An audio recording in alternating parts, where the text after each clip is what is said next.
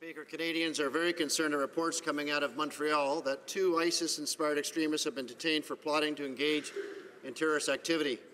We all recall the horrific terrorist acts last October, where Warrant Officer Patrice Vincent and Corporal Nathan Cirillo lost their lives at the hands of cold-blooded jihadi terrorists.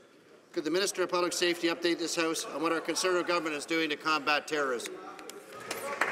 Uh, the Honourable Minister of Public Safety. Well, uh, Mr. Speaker, I want to thank the member from uh, Castor in Ontario for uh, his excellent work and his important question.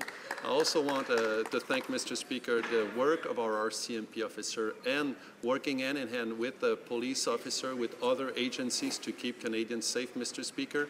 This is a stark reminder, Mr. Speaker, that the threat is real, that we need to take action and make sure that we have the resources and the tools that are needed to keep Canadians safe. Canadian can count on the Conservative government, Mr. Speaker, to take action.